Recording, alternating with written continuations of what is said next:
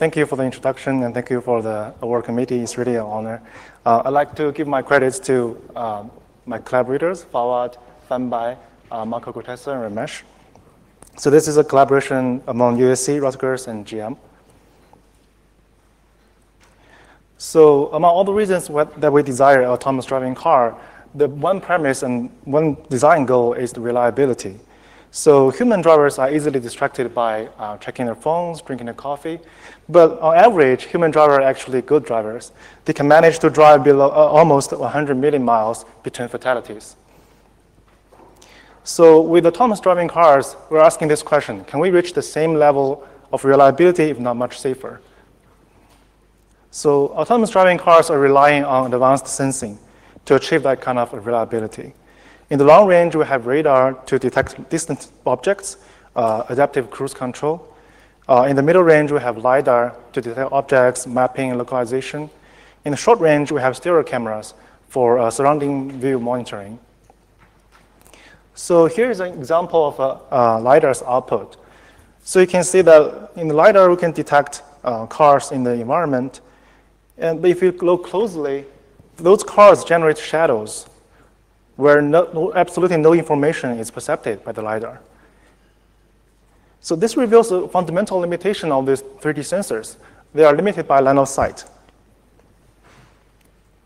Here's another example of stereo cameras output. So imagine you're the driver driving a car following this white SUV.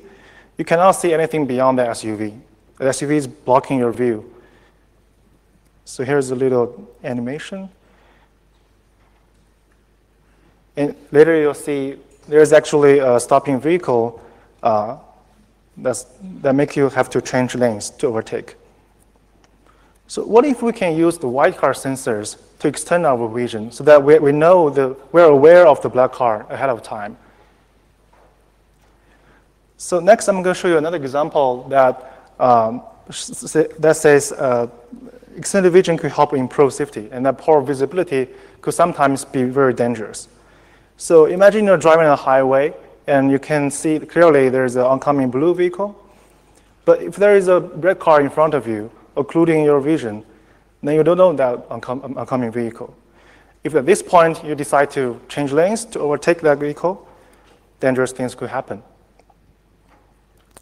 So what we are trying to do is to wirelessly share what the red car can see to the black car so that be the human driver or machine driver they can actually see through the occlusion. This particular functionality, we call it augmented vehicular reality. To achieve that vision, we have to address several challenges. First of all, accurate positioning. The red car has to position the blue car accurately, and to transmit that, uh, to transform that perspective to the receiver, we have to relatively localize the uh, position between the transmitter and receiver. With D and R, we can calculate X. And between vehicles, there is extremely limited bandwidth we have to deal with. And uh, all this can happen very fast. The cars could be cruising at 80 miles per hour, so we have to manage AVR with low latency. So next, I'm going to introduce some contributions in our paper that address those challenges one by one. So for accurate positioning, we relative position um, the transmitter receiver using a 3D sparse uh, feature map and uh, we transform the perspective from, from the transmitter to the receiver. In terms of the bandwidth, we extract dynamic objects and transmit only dynamic objects, and uh, we calculate the motion vector to compensate for bandwidth difference. In terms of latency, we optimize our pipeline to achieve very low latency and high throughput. We use motion prediction to high latency. So first up, accurate positioning. Um, before I go to any details, I need to give you some background on 3D perception. So be the LiDAR or stereo camera, they all represent the environment using a point cloud. A point cloud is a representation of the environment that uh, a cloud of voxels can uh, depict the environment, be it a car or a, a building. The voxel has several attributes, a position, x, y, z coordinate, and a color and reflection intensity. Depending on your uh, perception approach, if it's a stereo camera, you have color information. If you have a LiDAR, you have reflection intensity. So we use that 3D perception capability to relatively position the transmitter receiver. The idea is to use common landmarks on the roadside so that each car can position themselves with respect to the common landmark. Subtracting those, those two vectors, we know their relative position. Instead of using landmarks, we actually use features on the trees, buildings, and parking cars uh, on the roadside. Those green dots are static features we extracted. Note that we don't extract any features from the dynamic car. So those features can be collected by one traversal of the street. We use simultaneous localization mapping algorithm to build a, a 3D feature map. Once we have that map, can, when the transmitter receiver see the same feature again, they can match those features with those in the map so that they know their position with respect to the origin of the map. Again, similarly, subtracting the two vector, vectors, we know the uh, relative position. Once we know the relative position, the, we transform the perspective to the receiver by adding those two vectors so that the receiver know when, once they get the point cloud of the car, it knows where to insert that point cloud into its own perspective. And uh, next up, we, we, talk about latency, uh, talk about bandwidth. So to give you some context, um, the stereo camera we use are generating a full point cloud per frame about five megabytes. Transmitting that 5 megabytes at 30 frames per second require almost 1,000 megabps. If you are only transmitting a single car, the number is 80 megabps. So what we have right now between vehicles, we have dedicated short-range communication, DSRC, which is only offering 6 to 27 megabps. And 802.11g is 60 to 54. In reality, both of them are only achieving 5 megabps. So clearly, there's a huge gap between what we want and what we have. So to deal with the bandwidth, the first step is to extract the dynamic objects. So here's an example showing how we do that. Um, at frame one, this black car can position the blue car as C, C1. Frame two, C2. The black car knows its own motion. By compensating the own motion, the black car can calculate C2 plus V. And by comparing C2 plus V with C1, they can calculate the absolute motion of the blue car. We apply the same calculation on the whole point cloud so that we can easily differentiate which part of the scene is static, which part of the scene is moving. For the static part, the difference is almost zero. Once we get the absolute motion vectors, we can transmit that motion vectors adaptively based on the bandwidth availability. For example, if we have, high, if we have high bandwidth, we can transmit point cloud frame by frame. If we have low bandwidth, we can transmit an initial point cloud followed by multiple motion vectors for the receiver to reconstruct. About latency, we carefully optimize our pipeline. So on the top green bar, we show several computation modules uh, in our pipeline. And for example, one technique is to combine those common uh, computation to, into one module so that we can cut latency. And we carefully balance the uh, three-stage, three-stage pipeline so that they are evenly distributed uh, to achieve high throughput. So we evaluate our uh, prototype in several aspects. Uh, I'm going to focus on first three, the benefits of AVR in ADAS and autonomous driving, end-to-end performance, and reconstruction accuracy. The evaluation setup is as follows. We, we equip a vehicle with a, a Alienware laptop with a GPU. We attach the laptop with a stereo camera and a wireless access point. We replicate the same setup uh, with a second vehicle we use, we use the wireless bridging mode to establish the V2V link.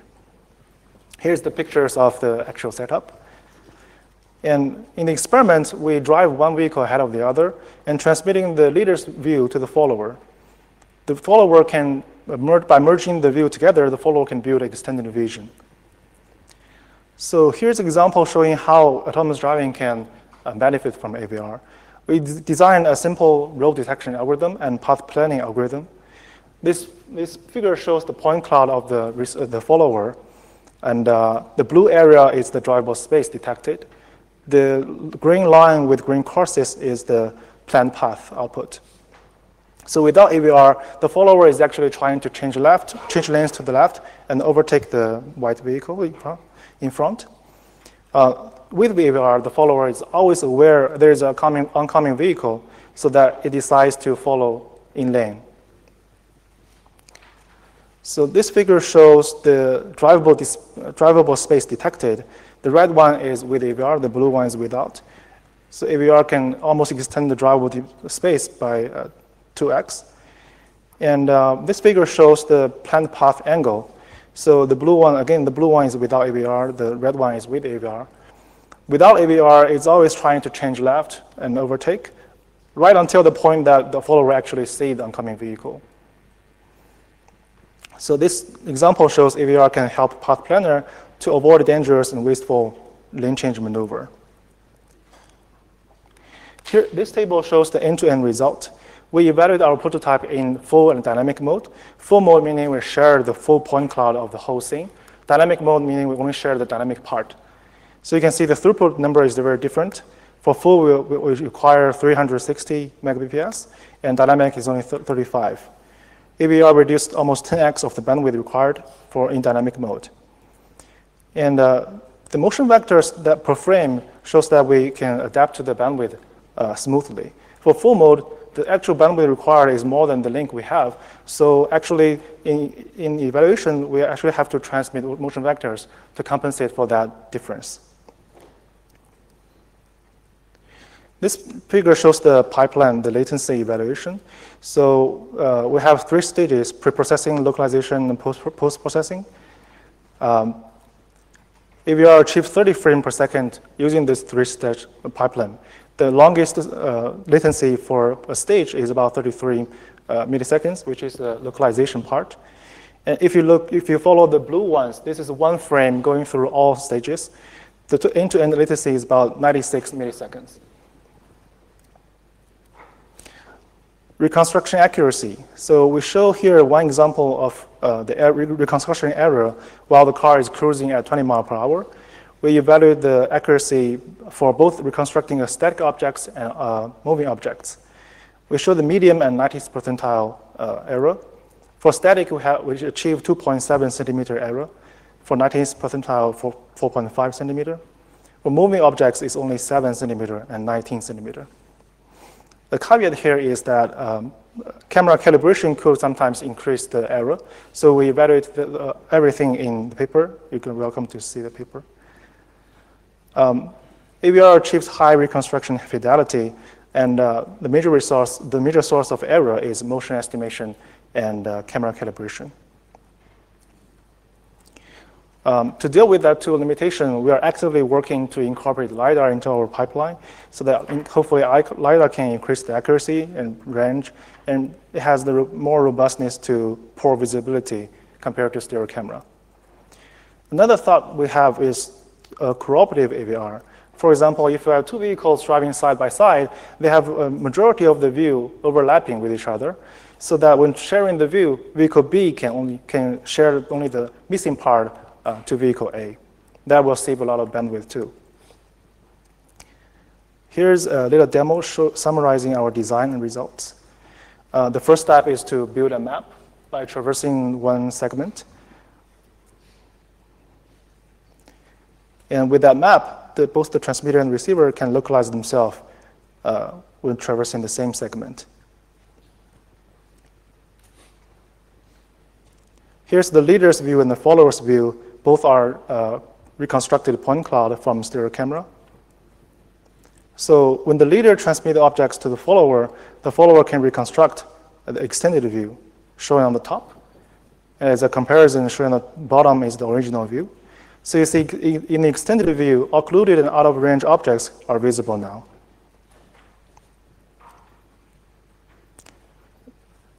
So in conclusion, AVR breaks the line of sight limit to see beyond occlusion and extends 3D's perception range. It also inspires more informed driving decisions. With that, I'll thank you for, talk, for your attention and uh, glad to take questions.